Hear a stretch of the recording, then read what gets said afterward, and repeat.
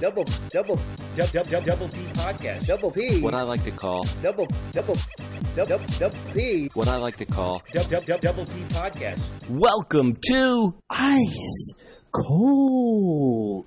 a podcast about AMC's The Terror. This year we're talking about season 2 The Terror Infamy. In this episode we're going to break down all the exciting events of episode 5, Shatter Like a Pearl.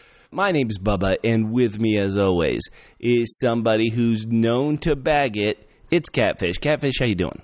I am doing delicious tonight, Bubba. Everyone should know we did this as soon as humanly possible. We're both traveling. We apologize for it being late, but until we make more than nothing, which is what we're making on these podcasts, we still have to do other things in life to sustain us financially. Uh, doing these podcasts sustains me metaphysically. Also with us every week is Mork. Mork, how you doing? Wait a minute. Oh no, Mork isn't able to come tonight. This is terrible. Oh man, well, should we just should we just do like the Yurei and bag it? I say we have to go forward mainly because All right, let's go forward. because our double L's, Double L's. our loyal listeners have given us lots of big feedback which we're going to cover right at the top before we break into the episode. Catfish, are you ready to hear what our double L's have told us? Uh, I'm not only ready to hear it, but also, if pressed into service, I will read some of it. Well, why don't you read this first one from Twitter? All right, from El Quent at L E L underscore Q U E N T underscore. Ooh. I love this fourth episode. Chester getting owned, unknown motives for our Bakemono, and and twins. Hashtag best episode yet. My hashtag ice cold is when Henry was like that. Hidden sake is only for us and no one else. Certainly not you crackers. LOL. Ooh, dangerous to say crackers this week. Although you might get a better job. Favorite episode yet, and I said that last week too. More frustrated than ever on the question of why Chester is being haunted, which is a great hook that has me unable to wait another week. Lou Gehrig, I struck that bum out. Ice cold. Oh, such a good ice cold moment. El Quent sent us tweets about the fourth episode and the fifth episode. Listeners, we've got a bunch of great feedback today, but I have to be honest, I see the download stats, and there are hundreds, hundreds, hundreds, hundreds of you who haven't been giving us any feedback. We want to hear from you. As Catfish wisely pointed out, we're not making any monetary gain on this. We're just really doing it to talk about fun shows like The Terror Infamy with you. So please do us a favor. Tell your friends about the hashtag Ice Cold podcast and give us some feedback. We definitely listen. Here's some more feedback from Twitter. It's from our good friend Shakes of Thrones at Shakes of Thrones on Twitter. They write, Let me take time to praise at CJGman67 for being the voice of reason in every podcast you guys do. It's so true. I didn't even have to say it. And yes, this was by far the best episode yet. So she's talking about episode four. People really have turned around on the season over the last two episodes, Catfish. I agree. The last two episodes really seem to be going somewhere. Also, this goes to show you if you pout and beg for some praise, you just might get it. So take this into take that lesson into your work environment. And Chester doesn't pout at all. That's why he doesn't get brace. Now, Bubba, Yeah? we have got some double Fs. Double F's. Yeah, famous followers. Ooh. So, would you like to re- would you like to tell us who our famous followers are and read their tweets? Well, I'll read this first one. It's from the Okay. actress who plays Amy Yoshida on The Terror Infamy. Amy, as we all know, is there having to be a secretary and try to keep her man, Ken, out of trouble for standing up to his principles. And it's the actress Miki Ishikawa. Hopefully, I've pronounced that correctly. Beautiful. And she writes, waiting for at double PHQ to drop their podcast about hashtag the terror episode four. Like, I thought it was Doug the dog from Up. oh, it was, it was. Yeah. Did you not want to give Pixar a free advertisement? You know, Disney might come after us, so I decided to stay safe there. All right. Well, I don't know. I thought maybe maybe we get ten dollars off our next visit. All right, and then Yeah. kind of in replying to that, our old famous follower, and by old I mean she's OG from at least a couple episodes ago, Naoko Mori, who plays poor beleaguered Chester's mom. She deserves better than that. Oh yeah, Uh, she said they are brilliant, and then she had correction double B. Double B. brilliant. Oh. Yes. Oh, so that was awesome. Very excited. We're sorry to have kept you waiting. I don't know. Maybe they weren't waiting this week. Maybe they're like, all right, you know what? Maybe they were like, we gave them such good ratings last week. They're like, I don't need to listen anymore. let me say that once again, listeners, you can join us at Double PHQ. That's the word double, the letter P, then the letters HQ for headquarters at Double PHQ on Twitter and Instagram, Facebook.com slash Double PHQ. And on our Facebook page, we have a true double L, Peter in Australia, who wrote he really liked episodes four and five of the Terror Infamy. Finally, the show has taken off. The stuff at the camp was great. However, the Chester storyline still lets the show down, in his opinion. As you guys mentioned on the podcast for episode 4, Chester's smart arse comments to the soldiers just didn't ring true. In episode 5, his interrogation of the captured Japanese soldier was confusing. How did the soldier know stuff about Chester and Chester's fear of the evil spirit? That whole scene was very confusing. And then Chester lets him kill himself. I didn't get that at all. And let me say, Peter, I when we review this episode, that is going to be kind of my one glaring weakness in the show is the end of this really great relationship and really great performance by this Japanese prisoner. That was just incredible. I thought great acting. But uh, yeah, we'll get to that in a bit. We got two more bits of feedback. Catfish, can you read them? All right. Narcissus at Flower Girl 67, not the kind that you sniff, but the kind you bake with, Flower Girl 61, says, Have to wait as usual until Friday for episode 5 on Prime Europe, so don't mind the pushback. Thank you, Narcissus. You're the only one who's like, This thing isn't late. I But know. you might be the only one who's like, This thing is crap. So it's a it's possible win lose situation. Narcisse is also a great double L over in Europe. She downloads many of our shows. We love hearing from her. And I also love hearing from at Clobberchop. At Clobberchop, indeed, on Twitter, who gave this most recent episode 9 out of 10 triple Bs. Triple B's. Baseballer belly butchers. Oh, Oh, nice. That's better than what I came up with. Well, Cap- Damn you, Clobber Chop. well, Clatfish, what is your ranking for episode 5, Shatter Like a Pearl? Well, I was going to give it triple B's. Triple which was- Bs? yeah, boring baseball banter. Aw, But then I realized the more appropriate scale was the triple F scale. triple F. So I gave it seven frequent freaky fake outs. This is the second, not favorite, frequent freaky fake outs.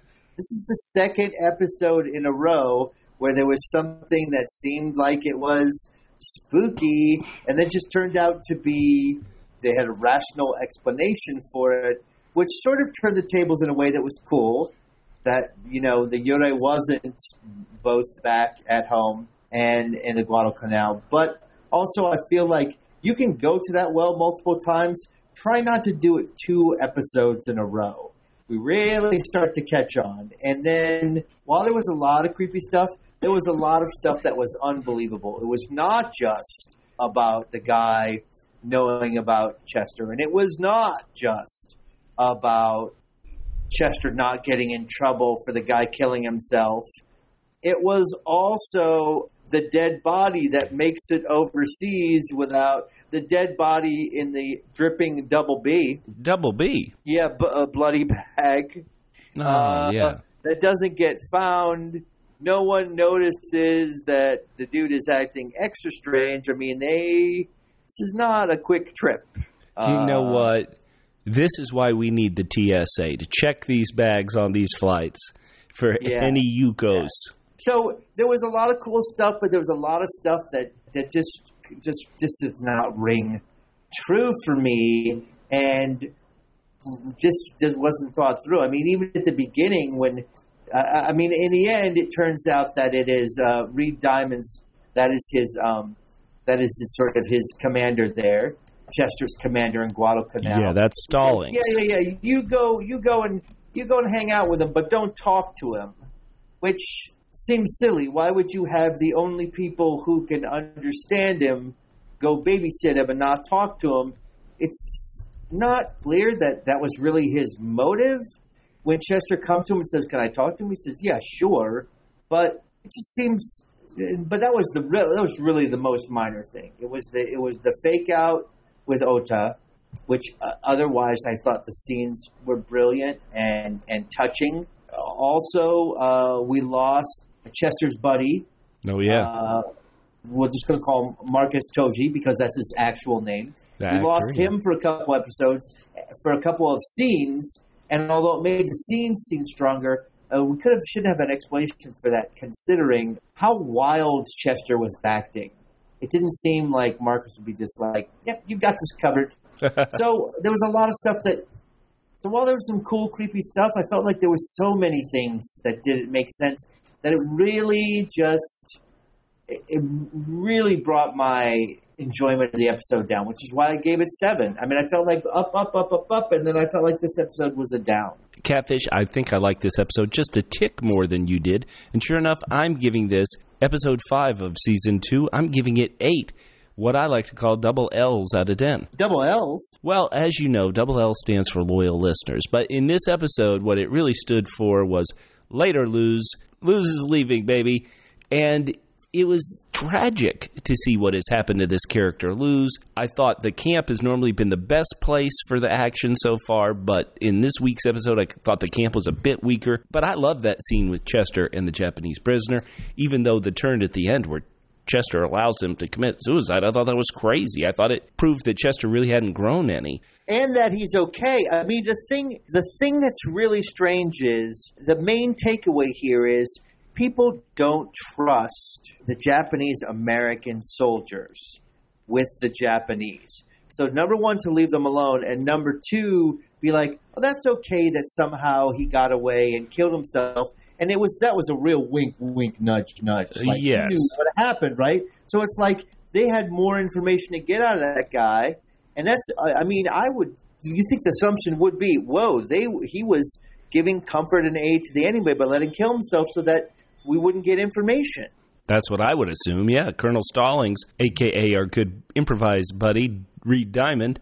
Yeah, what was he doing? I, I just didn't get it. His character doing, obviously. It just didn't make it just didn't make sense. And then, of course, they. I mean, we're, I'm blowing through the whole thing, but like they take that in stride. And when the guys are maybe going out somewhere for just a ride, they assume let's just fire at them. They must be escaping. I think which Colonel. doesn't I think Colonel Stallings did see the gun being pointed at Chester. Now, why he didn't just let the guy get shot, who knows? But Catfish, listen, we have given our rankings of this episode. Listeners, once again, who cares what we think? We want to hear Well, what I, you I think. care what I care what you think. Uh, Okay, Hold that's on. great. That's totally. I don't. But uh, Okay. But tell us what you think. Please write to us. Please tell your friends about this if they're enjoying the Terror Infamy as well. At Double P HQ on Twitter and Instagram, Facebook.com slash Double P HQ. Catfish, why don't we start with the thing that I thought was the most tragic, and that's my girl Luz, who, like her man Chester, is seeing visions. Some kids are playing hide and seek in the woods there by the camp. Oh, but the beautiful thing is this. This I love this setup. You see a creepy figure from far away. She's wearing like a white shift. She's Mhm. dirty, and they're like, "There's the ghost woman." Oh yeah, And it's a perfect turnaround because I did believe that it was the Bakemono. So when it turned out to be Luz, I thought that was an awesome moment. That was a nice. That's some trickeration that I can get behind. and Luz is just been so broken that she's seeing these visions of dead children in the water. She is freaking out the camp. Like the prisoners probably were already treating her tough because she wasn't of Japanese descent. But then for her to have just let go of everything, She loses it. I don't get it. But so Luz gets a visit from her father, and mm-hmm. yeah, it's just more bad news for Luz. Luz, you had a brother, Dennis. He's dead. He died in North Africa fighting. Oh my! Wow, terrible There can was this be? It was kind of a nice ice cold moment. There was no dialogue, but the father, before he speaks at her, speaks to her, looks at her, and he's kind of like, "Ooh." Ice cold. Yeah, yeah. So the dad is begging his daughter, possibly her, his only child left, to come home. They go and see with, I assume, somebody who can release Luz. And these questions were so ridiculous. What kind of food did you eat for dinner? Japanese food. oh my God, this is just terrible. But Luz probably does need to get away from the camp, does need a bit of escape. Well, I I had talked about this last week. Like I said, you know, there's nothing holding her there. Now I didn't know that she would be so bereft, but it makes sense. Go home and be with people who love her. Not that Chester's family hasn't come close to her, and in fact, this was another touching moment from this episode. Right. But, you know, Right. Well, let's just get to it. It takes about three to five days to process this release. And Luz, as she's leaving, she says to Chester's parents, she says, You know, I want to give Yuko this gift she gave me back. Uh oh. Ding, ding, ding, ding, ding, mm-hmm. trouble.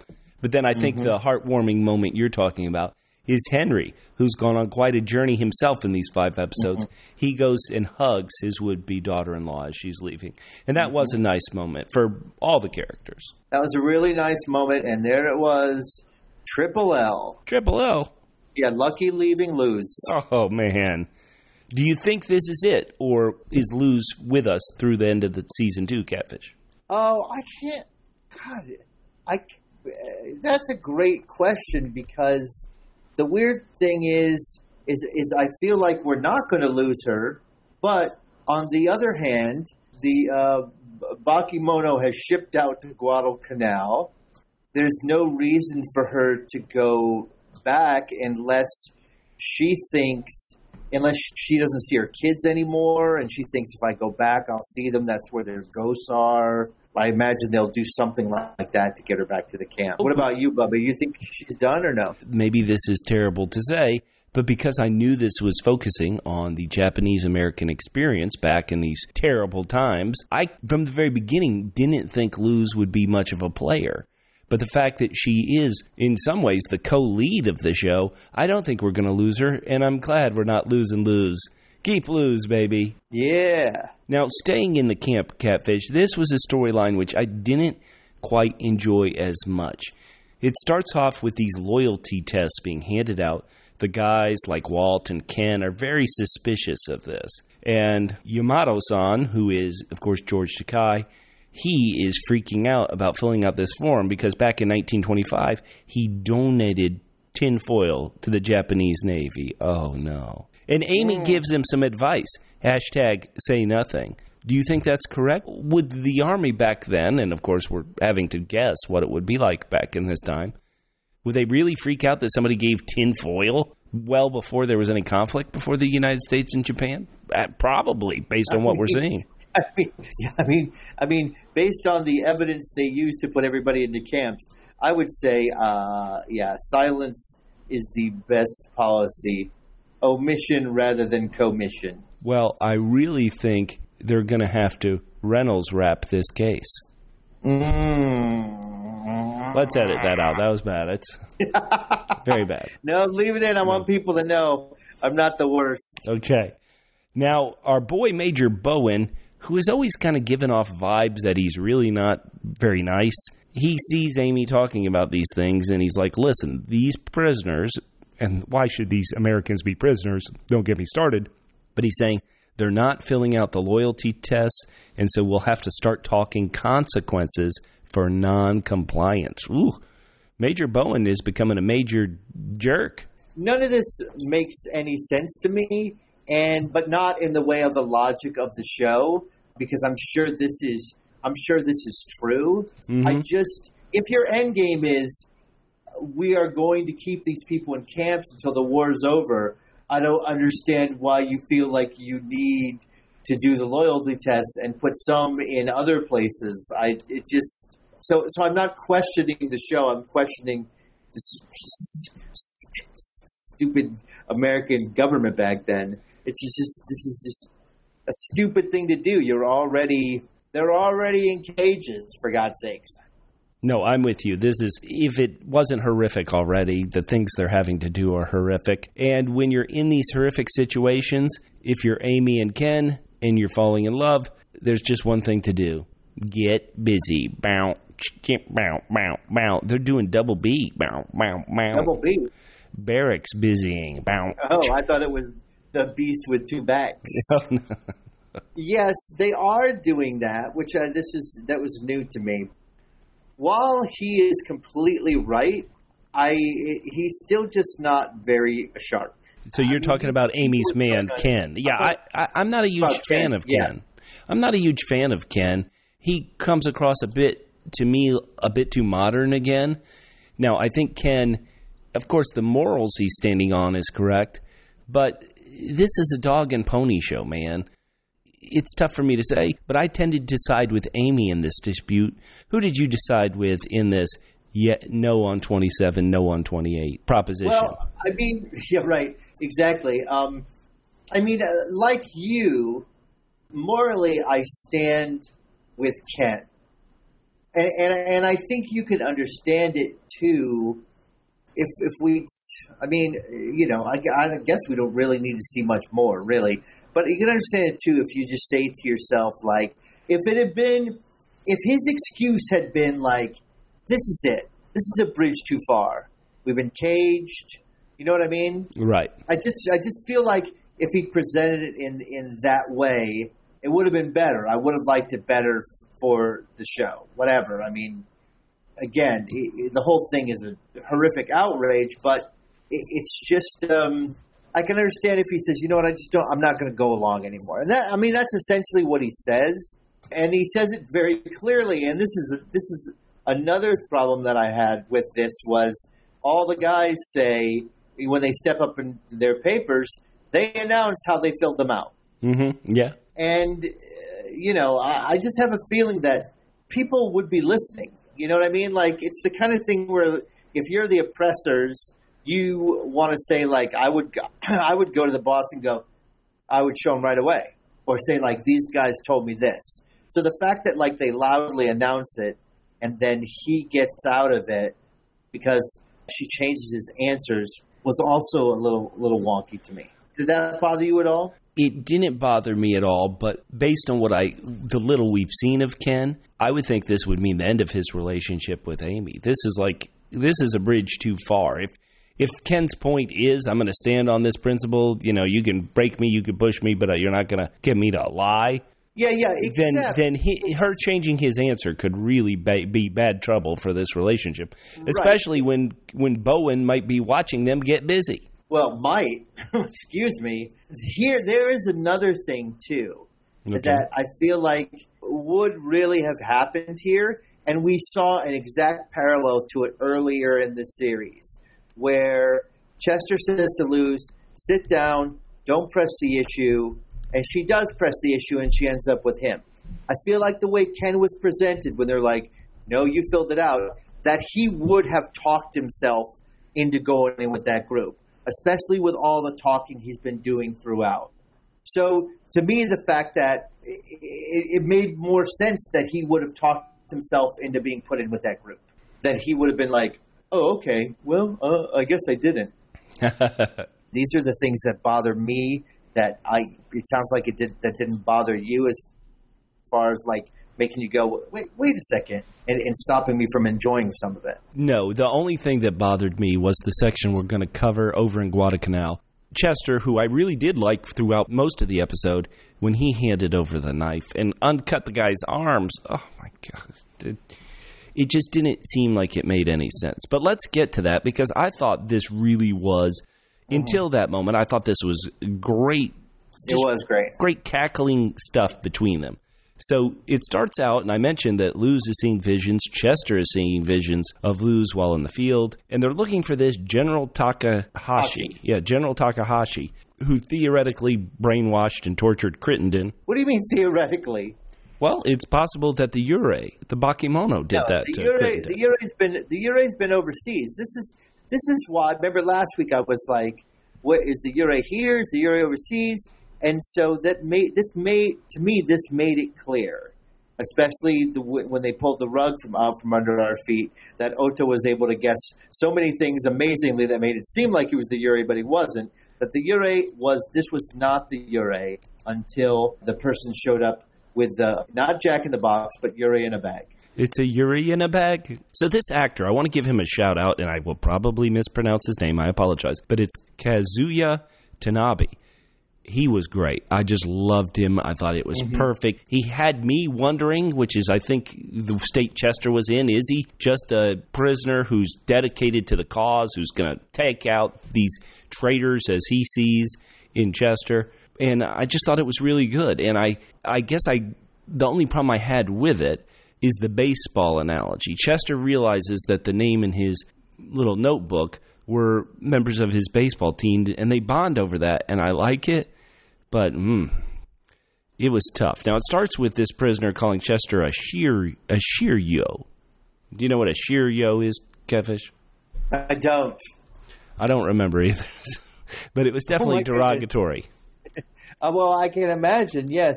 Are you sure it's Shirio? I'm just sort of looking up here, and it Shirio is uh, a word for souls of the dead. Oh, That's right. Yeah, that sounds perfect for Chester. Okay. Now, as you pointed out, Colonel Stallings, he's like, you guys can't engage. The white guys have to engage, which, uh, you know, Right. don't get started. The only here. people in this camp who can understand him and talk to him don't engage. now, this prisoner knew Chester's name, and he drops that Chester's name reference. Did How did he get Chester's name? Did Colonel Stallings accidentally mention it? Did Chester's friend accidentally mention it one time? This is I this is confusing. I didn't go. I didn't go back and watch. And and and if they did, I mean, that was smart. Then on, on, on the, the second go round, it's still the same kind of fake out we had last episode. yeah. So Arthur. Whether they set it up well or not. So Arthur and Chester are there with this prisoner they're not supposed to engage with. And Arthur and Chester are just always complete opposites. Arthur is like, let's do this by the book, let's do what we're told. He's a good soldier. Maybe we respect Chester more because Chester, Chester does stand up for No, what's right a lot. but Arthur he seems to be the one who who follows the rules. But at a certain point, Arthur goes out for a smoke and never comes back, and allows Chester and the Yes, prisoner to really bond. time. Yeah. There is an hashtag ice cold moment when the prisoner says to Chester, "You've got nothing. Thought you could get away. Corpses of everyone you know." Is what you'll see, no matter how young. Oh, ice cold bastard! I love it. Oh damn. Now, he says he's here to save Chester. He also says, hey, let's you and I slice our bellies open together like honorable samurai. nice, nice. I don't know if I was Chester, I would have been like, whoa, whoa, whoa. How did I get? How did I get into this? honorable samurai, Chester. Come on, let's do it. You and me. Ch- Chester's like, if I'm going to kill myself, sh- I'll go down to the docks and have some bad liquor. Another ice cold, just, it's not even so much ice cold, it's just a flat out diss. The prisoner says, If you don't free me, I won't spare you or your family. The ground will soak with their blood. I mean, you know, he really should write some lyrics for Danzig. He's doing great. I'm telling you, he really knows how to put the fear of God into Chester. But Chester has one bit of magic that he can pull out at any time. His camera. Oh yeah, the magic camera. Because he I see all. he takes a picture of this prisoner Ota, and guess what? The face wasn't blurry. You're not a Yuri. Yuris have blurry faces. Oh, Get out of my camp. Chester's Chester's magic camera. By the way, back then, how long does it take to develop something? To be like, I'll be I'll be with you in a second. Listen, I gotta go get the room completely dark, the tent completely dark. In eight hours, you're gonna you're gonna get it, buddy. Yeah, exactly. And he does get it because Chester beats the crap out of this poor prisoner, so Chester's a war criminal. And then what do you do after you beat somebody up? You let him tell his life story. Bonding.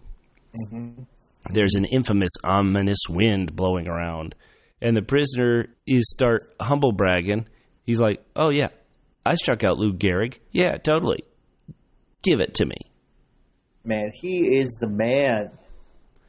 And then Like you said, he was he was he was just so great.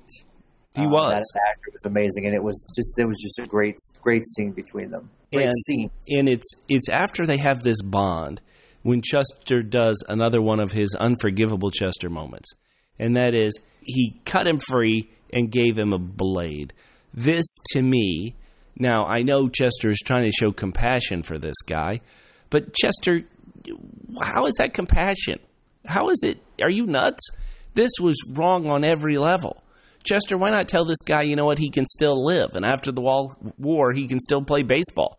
I just hated this move, and that's why I dropped it down uh, from a real high ranking to eight. Admittedly, that's only two points, but this moment just really drove me nuts. Well, I mean, you have to. I mean, I think what you have to understand is that even though, and maybe it doesn't ring true because we think Chester's so Americanized, but I really think there is that that strong sense of of honor that like if if if you commit a shame, it's the most honorable thing to do and to let people do. I mean, I think I re- I remember even in was it the seventies or eighties when some Japanese companies got busted for doing some bad stuff, and some of the CEOs committed hara-kiri I mean, there is there. You know, I, I think you're not you're not understanding how powerful the sense of shame is in Japan as opposed to here. Americans are completely shameless, which is why we uh, elected the most shameless human being on the face of the planet.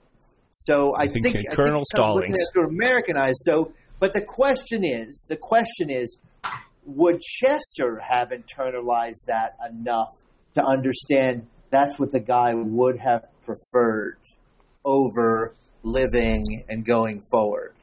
But hmm. I think from the I think from the Japanese soldier's point of view, I think that makes sense. The question is, you know, as as American as we think Chester is, I mean, you know, I'm waiting for him to, you know, get a, you know, start smoking a pack of cool miles and spit on the sidewalk.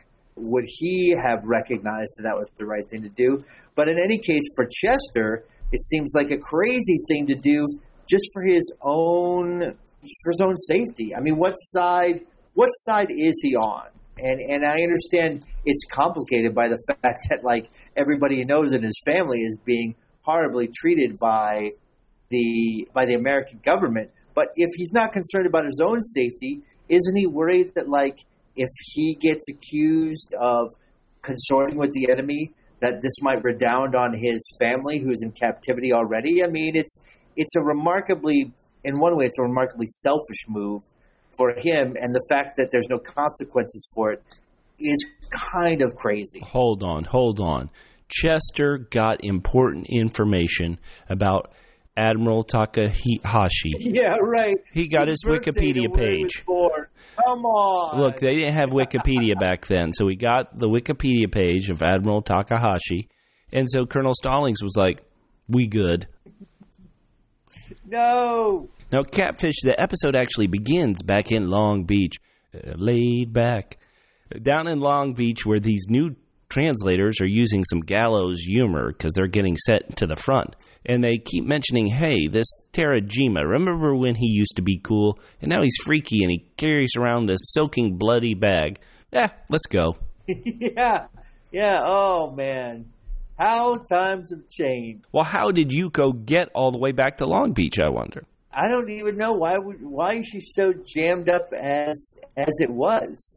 Uh, you know the it's funny the fact that all these other things have happened in this episode that have made me sad is that I, I have not come back to my continual complaint about this series, which is that five episodes in, we still don't know why this thing is haunting Chester and his family and Luz what, what, what did he do? Now, we yeah. do get a, maybe a slight clue just at the very end. All right, let's hear it. Tell, talk us through it, Catfish.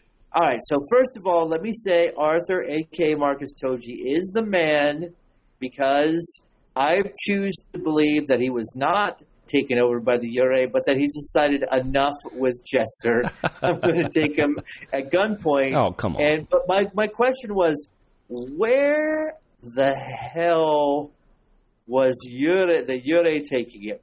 So I don't know the answer to that. Leaving camp for where? The jungle just to torture Chester by himself? I don't get it. I did like the creepy bag action. Oh, it, it was so good, so good. One of my favorite favorite Japanese horror movies called Audition, which is a great movie. Starts out very slow, and then things get absolutely batshit crazy. Just at the moment that is reminiscent of this creepy bag scene, and then Yeah. the Yurei calls him Taizo, which Oh. means third son. Hmm. What could that possibly mean, Catfish? Uh, I mean, it could possibly mean the uh, we'll finally find out the answer to this question: why he is being haunted, and maybe at that point, maybe at that point, our friend Naoko Mori is going to have some splaining to do. Uh oh, spaghetti. I don't know whether she is going to. I don't know if that's the case, but I hope so because we didn't get enough for in this episode, except for her rut row moment when she got the little drummy drum. All right. Well, next week is entitled Tiazo, and it is described thusly A story of the past provides insight into the present evil that stalks the terminal islanders. Chester returns home to his family, only to find that someone he was searching for is gone. Henry and Asako are faced with a difficult decision. Mm-hmm. So, third son. Mm-hmm. Can you read that? Ti- can you just read the title again? I know. How do you Okay. pronounce it? Tiazo? Well, first, no, no, it's Taizo because it's T A I. You said Tiazo. I was Okay, like, wait sorry. a second. They become Italian all of a sudden? Hey, uh, it's me, uh, Chesterini. It's my third son, Tiazzo. um, so I, I, I just there were a lot of things that bothered me about this week's episode, and, and I'm sad because uh, things were getting good, and there's still a lot of creepy moments. There's still just a lot of things that, that just don't seem to click for me. I think what you're most upset about is our good buddy Reed Diamond probably won't be in the episode anymore if Chester gets sent back home. Oh no, not Reed Diamond. He had such grand plans for him and Chester. They were going to do a buddy movie. Oh man, a road to Guadalcanal.